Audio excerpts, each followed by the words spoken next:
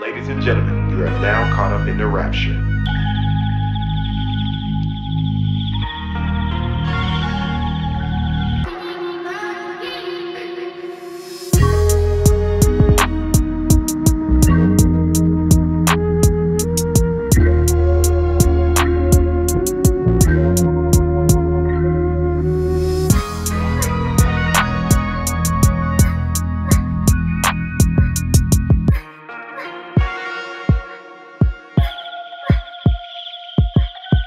Música